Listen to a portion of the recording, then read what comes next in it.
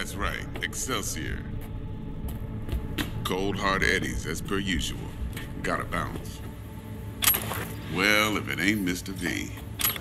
Whole family in one place. Ha! Finally! First time in real space. And the flathead? Let's see this bad boy.